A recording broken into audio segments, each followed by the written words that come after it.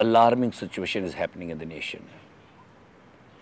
Female girl child proportion against the male child is every year going down and down, which is not good for the mankind, neither for good for this nation.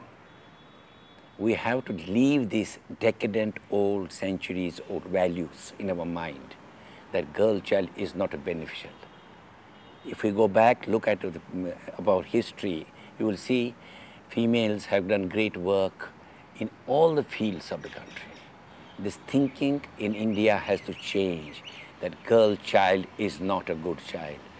If we want future for this country, if we want this nation to thrive, be one of the great nations among the nations in the world, we must have man and woman equally making this nation together, knitting nation together in all the fields.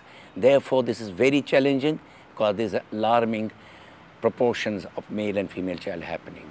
So remember that you are part of this campaign and you will have to help and make aware people about this alarming situation for the nation and for the mankind. Spread the message. Be the brand ambassadors of Fight for the Fetus.